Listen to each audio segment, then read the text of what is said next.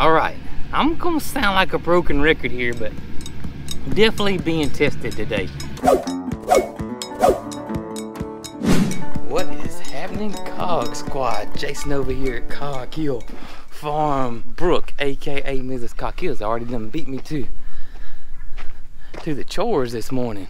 It is a, it's been like this several mornings in a row, maybe like three. Look like there's a giant fog in the sky and you can't see nothing. Really weird. But then eventually just clears up and gets hot. well, hello, Tuck Tuck. Hello, Tucker. Hey, girl. Hey, oh, we got an announcement to make, don't we? Tucker has her very own shirt in the Cog Hill shop. So if you guys are inter interested in a Tucker or Pink shirt, go check it out, right? Yeah. Just came out, didn't it, girl? Yeah. Just came out. Good morning, y'all. How y'all doing this morning? We got big plans today, guys. Big plans today. Yeah, we do. So it looks like Rhonda got out. What's crazy is, is these animals, or just I say animals, these birds, the poultry, the chickens are not as bad. The turkeys are the worst. Um, they're obviously not the brightest tool in the shed. A turkey can get out this fence by flying, hey Felix, by flying over it. Y'all see Miss Ozella and her babies right here. Tommy's molting, as you can see. Look at him losing his feathers. Anyways, the um turkeys can get out of the fence, but for some reason they can't get back in the fence. I don't I don't get it. I don't understand why they just can't pop back over it. Anyways, how's everybody doing this morning? Hmm?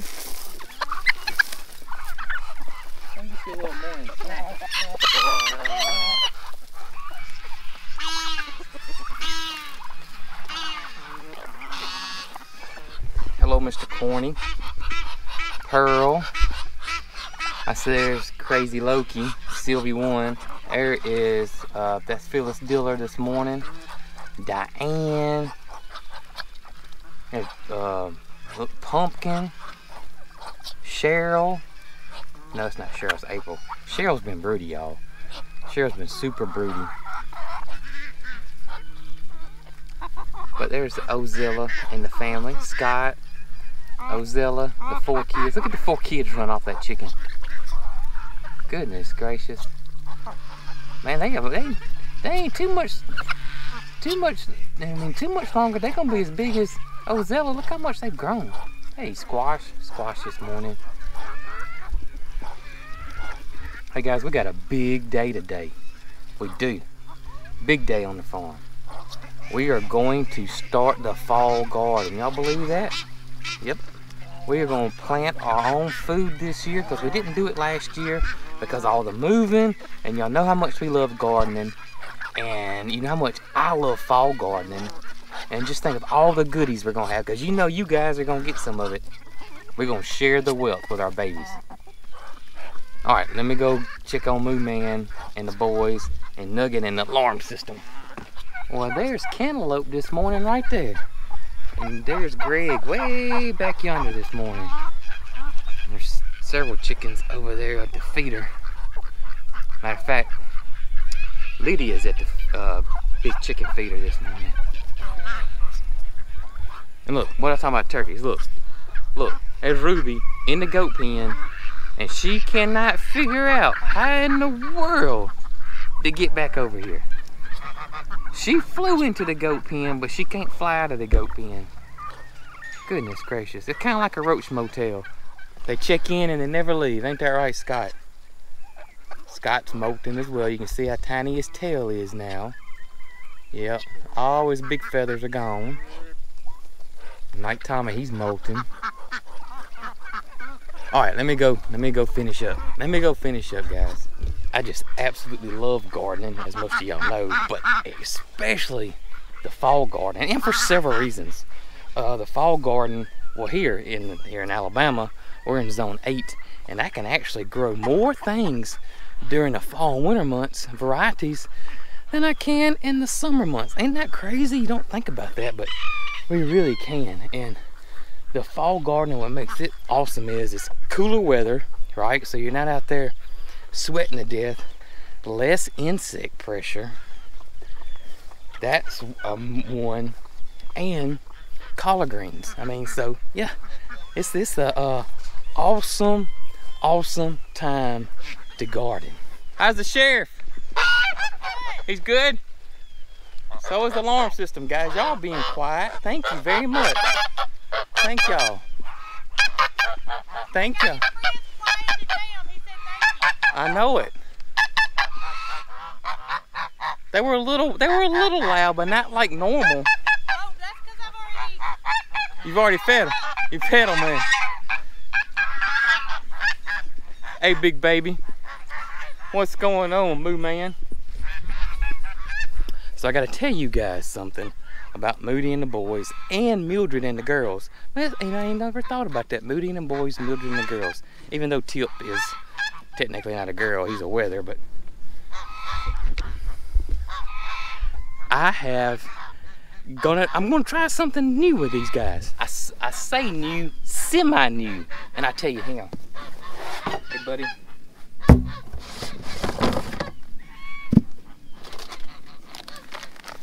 So you know that we had a uh, viewer of the channel send us the Redmond salt block and I really haven't seen any difference in flies to be honest with you. The salt block really isn't being utilized. I don't know if they don't like the flavor of it or what. Just as like, well maybe maybe they don't they don't they don't like the uh, salt block.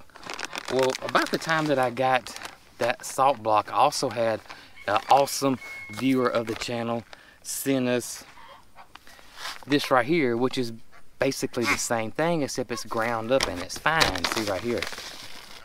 Well, I didn't, I wasn't going to use this until they got through the salt block. I was, you know, thinking that, you know, they finished salt block, then I would start using it since I got the salt block first. So I had a cattle farmer reach out to me and say that, that um, for me to start using loose minerals versus the, the solid block. And I was like, I got some loose minerals that that a uh, viewer sent me and so I'm swapping. I'm gonna try it. Well not swapping. I'm gonna leave the salt block out there but I'm starting to put this garlic infused because it you all smell it. Can y'all smell it? it smells just like garlic.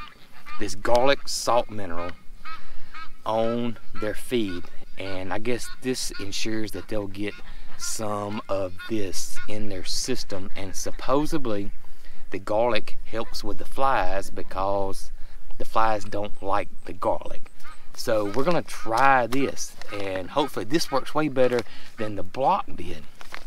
Fingers crossed. And you know who you are that sent us this uh, Redmond Loose Minerals and thank you so much for it. And I'm sure it's gonna take a little bit for it to get, you know, to start working and get in the system. I don't expect to see an immediate result. But I will say Moody doesn't have any flies on him this morning. Ain't that right, buddy? If he does, it's very minimal. All right, Big Daddy, come on. Let's go. Come on, Moo Man. Come on, Moo Man. Come on, buddy. Let me get this bucket out of your way. Let's get this one out of your way. We don't need two buckets right there, do we? Nugget. You know what? What's that? I think he's been in the hair jail this morning. Look at him. He does like Look he's been in the hair. Look at this back area right there. Nug. He's trying to look good for Joe. Is that what it is? Nugget. Look at that. His little doopty doop this morning is standing. Look at it standing tall. Look at your doopty doop. Yep. Alfalfa would be proud of your doopty doop, buddy. Yeah, it would. Maybe we get Nugget to help us in the garden today. Nugget, can you help? No. No, okay. All right. He said no. He gonna stick around here then. He's got to guard his geese. I see that. Nugget, I got Joe's, I mean Joe's, well Joe's water going. I need to go cut off. I hear it overflowing. He's on the tractor. That can only mean one thing. We're fixing to do some serious work. I can't hear you. I'm saying nice things. We're going to plant a fall garden out here in where the flower farm was.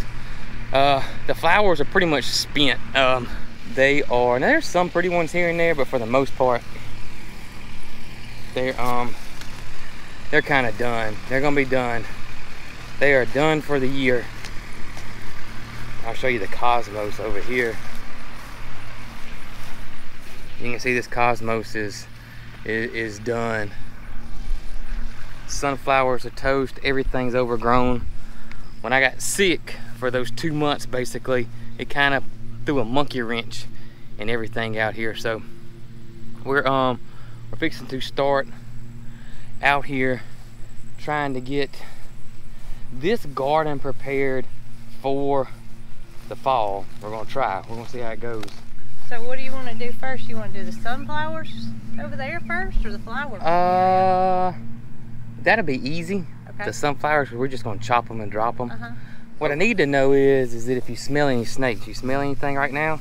I don't. I don't just put some sunscreen on, so that may be affecting my smell. Oh, I bet that's gonna throw it off. Yeah, it's gonna throw it off. I think we're gonna start on this side.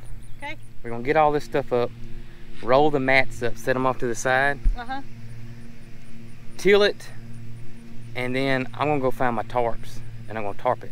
Okay. And we had a, a, a viewer send me a big tarp as well. That's right. And um, I'm gonna see how far the tarps go and tarp it because our seeds won't be ready for four to six weeks and that should be right when we start. And then we planting. won't put our mats back down until it's Yep, tarped and exactly. What? Oh, yeah, I thought about that, but I figured that you didn't put it in, but with hands. No, I used the driver. Oh, did you? Yeah, You had no choice because it's so deep. I mean, it's so hard. I know I ain't gonna be able to pull it. Yeah, I got to get the puller. Well, I thought I could get a, get by by pulling the post up by hand, but that's not gonna work. I gotta go get the, the fence post puller. All right, got the puller. Work smarter, not harder, right? I thought I could pull them up, and I probably could, but I'm gonna throw out something doing it that way. We're gonna use this thing and save our back, our muscles, and whatever else we may throw out.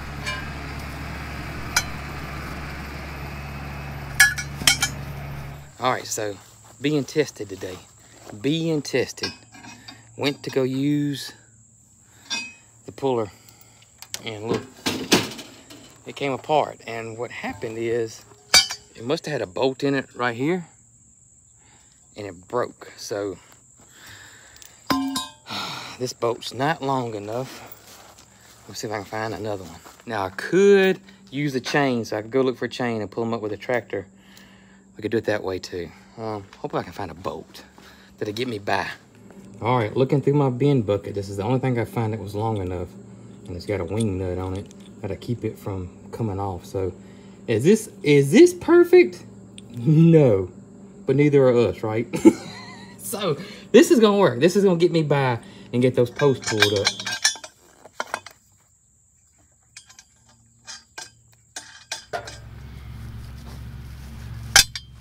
Try this again.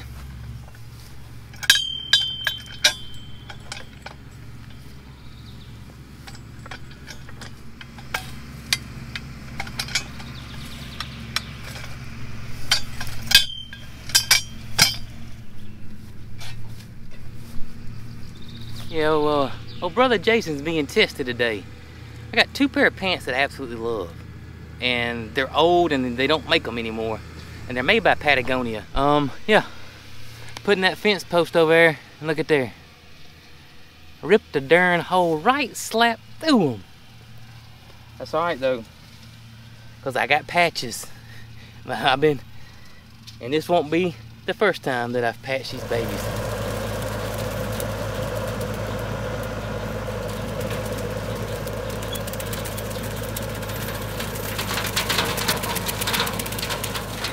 So, one reason that we're bush hogging the flowers down is number one for safety. We want to make sure that there ain't no creature in there that that could possibly hurt us. And um, sort of thinking this would tell them, hey, let's skedaddle. Uh, other thing is, is that it's going to be easier for us to now pull up the weed mat and soaker hoses and drip irrigation and all that kind of good stuff.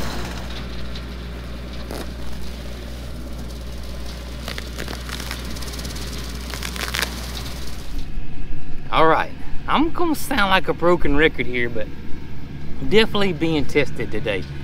I wanted to plant the fall garden in where um, we had the flower farm at and reuse that weed mat that we had burned the holes out in for the flowers. But what has happened is, is that the ground is so hard, even though we had a week and a half of rain last week, the ground's just done soaked it all in because of the lack of rain all summer. So therefore, the ground is really, really hard. And those staples, those landscapes, landscape staples we have in the ground holding that weed mat down is not coming up. So I'm gonna regroup. We're gonna plant the farm in a different location or the garden in a different location. We're not gonna plant it here. We're gonna plant it where we had the sunflowers planted. That's my hope. So we're gonna till that area up. We're gonna tarp that area. And because y'all, at my other farm, I had it almost weed free. I had a, a, a, stale weed bed because of tilling and tarping. That's just a process I like to use. And taking my Hoss wheelie plow and running it through the garden once or twice a week to keep the weeds at bay. I didn't have to worry about weeds hardly at all. Here on the other hand, this is gonna be a different story. This is gonna be a totally new animal. This is gonna be like me starting from scratch in my other garden, the original Cog Hill, and battling weeds all the time. So it's gonna take some years to get it weed free like I had it over there. But hey, I love doing it. And I ain't scared no weeds. Just snakes and rats, that's what I'm scared of.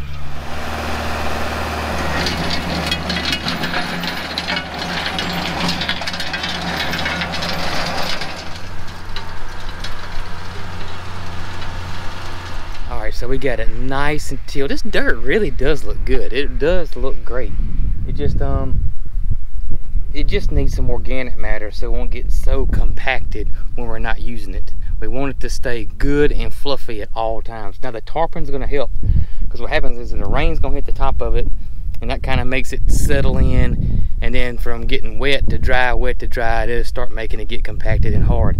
So the tarp will help with that because the tarp will keep it moist underneath it. It'll act like mulch. But this is the kicker. This is why I love tarping is because it's going to kill any weeds that's going to come underneath it. And if you continue to tarp all the time, then you'll create a nice garden area that will have minimum weeds. Um, I don't know how long that'll take. Uh, just depends on how much weed pressure you have at your place or at your garden and the same for us. I don't know how many times. Well, I'll tarp all the time. I tarp in between seasons, so we'll just continue to tarp and tarp and tarp, and each time your weed pressure just gets less and less and less and less. So we're gonna go all the way to this front edge.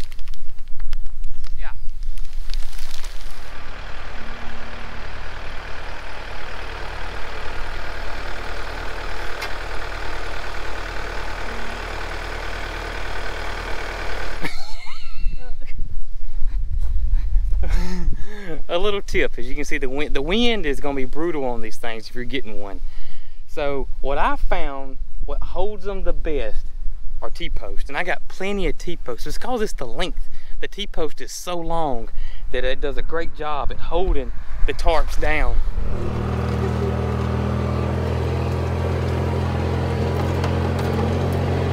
All right so it is the next day we got the area tilled up we got some of it tarped. We got some more tarps coming. And so today what we're going to do is, is we are fixing to start our fall garden seeds and seed trays. And this is why I wanted that greenhouse. This is why I wanted a greenhouse so bad. Uh, my other greenhouse I had would not accommodate this. 1, 2, 3, 4, 5, 6, 7, 8, 9, 10, 11, 12, 13, 14.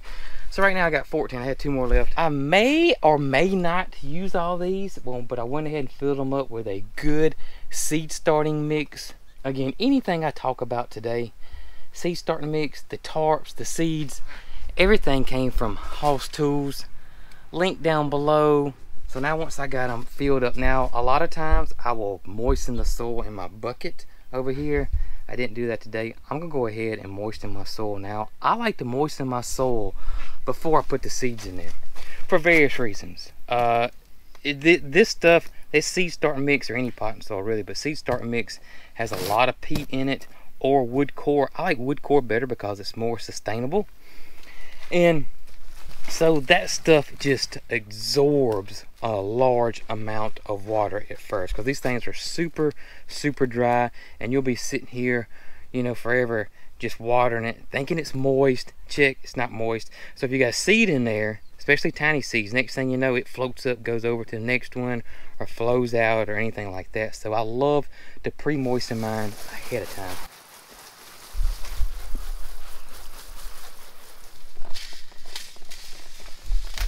What I'm doing is, is I'm looking at the days of maturity.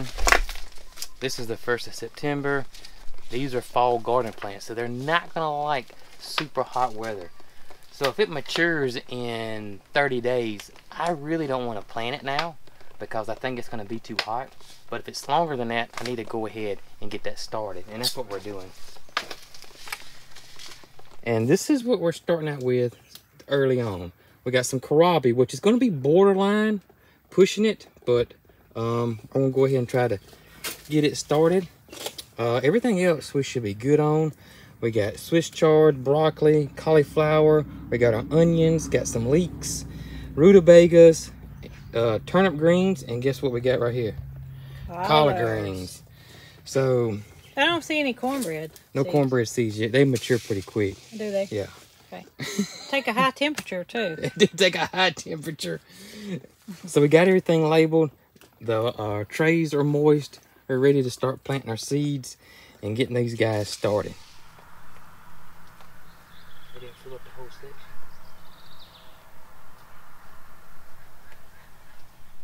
greenhouse is doing what a greenhouse is supposed to do. It's warm in here, isn't it?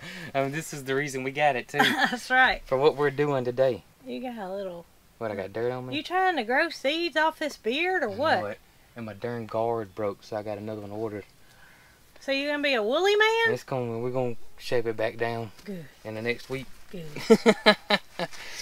All right, so we're we're done. I mean, our seeds are done. Well, I say that. I'm gonna come you back. You gotta cover them up. I'm gonna cover them up with perlite, and that's the question I get asked a lot. Is perlite? What do I? What is that white stuff you cover your seeds up with when you're finished? And it's perlite. But listen, guys, you don't have to use this. It's just what I do. It kind of helps with dampening off, which is a disease your seeds can get. I've never had that issue before, and um, I just like to use perlite. Uh, it's real dusty, so you may want to wear a mask if you use it. Um, but anything will work. Peat moss, your potting soil you just use, your seed start mix or whatever, just lightly cover your seeds up, you know. Uh, you don't have to go out and go buy some special perlite, anything like that. Uh, what are you most excited about growing? Well, you know. I don't know if you can read that or not. Your collard greens? But it says collards. So your top bunch collard greens. We love collard greens here in the South. It's such a staple. Uh, it's kind of hard to tell you what it tastes like. Uh, we cook ours in stock.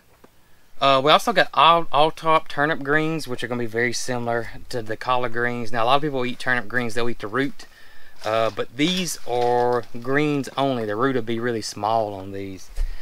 And the uh, one question I get a lot of is the onions because we're starting onions from seed. We're not buying uh, the, the little onion shoots that you buy from your hardware store or wherever you get your onions from. We're starting onions from seed. I did that for the first time last year in my fall garden last year at my other farm. Very first time. It seems very year intimidating. Was the year before last? Yeah, because last year we were moving. That's right. That's right. Sorry about that. Yeah, year before last. Time flies when you're having It does. And I was a little worried about it. I've never grown onions. It seems extremely intimidating.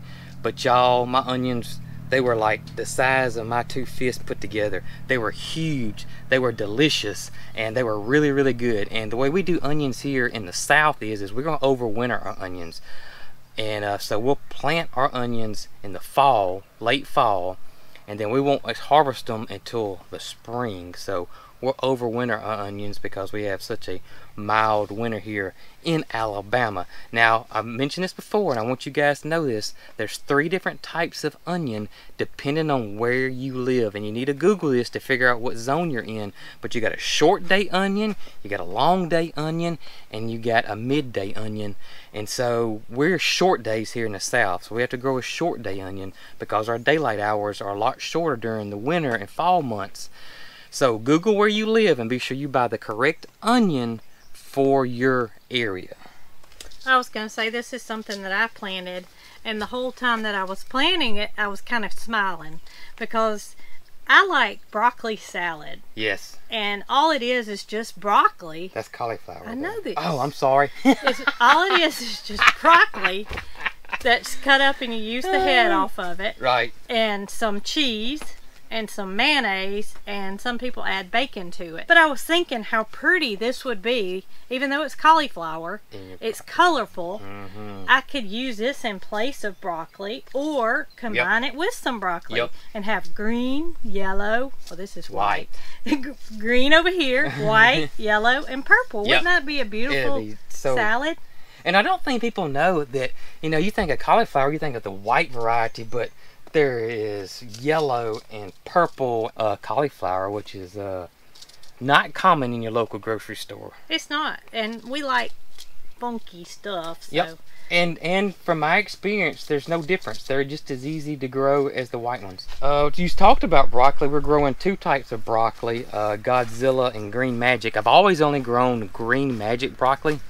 I've done it's done really really well here. It can semi tolerate some heat. I never grown Godzilla broccoli, but I love the name, and supposedly they get like huge.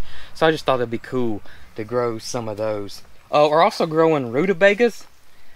We love rutabagas. Uh, We and didn't know we did. Though, we didn't know we did, and then we tried it. My my dear friend Chef Scott Peacock has a whipped rutabaga recipe, and I'll have to try to find it. And when we do rutabagas this year, we'll post it on our website.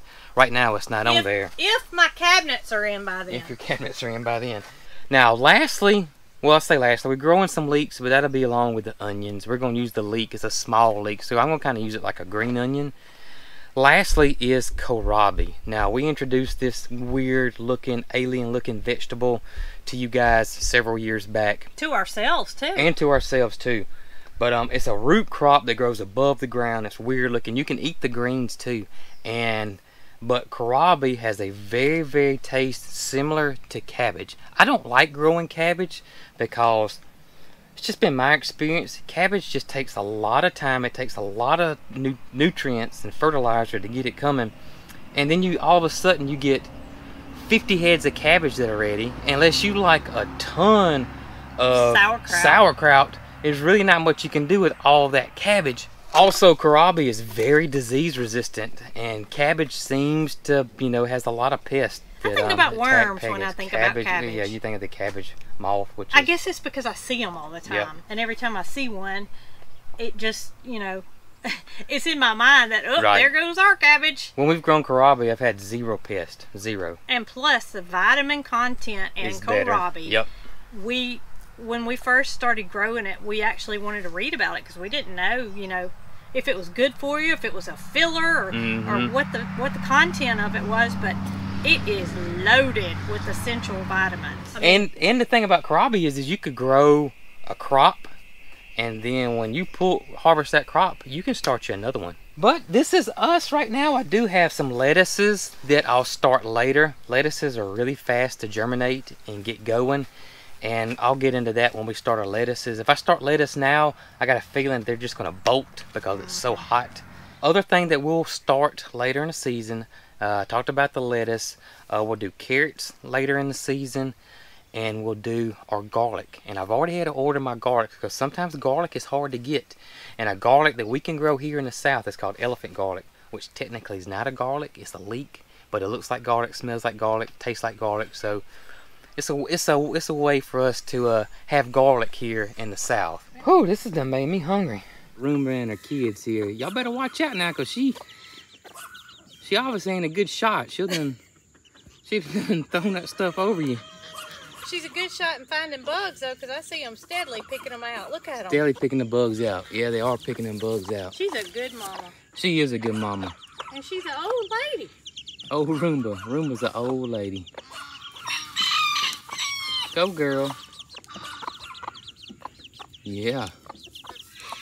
Fifi said give her a shot. Hey, Fifi. Gonna kiss everybody this morning? Okay.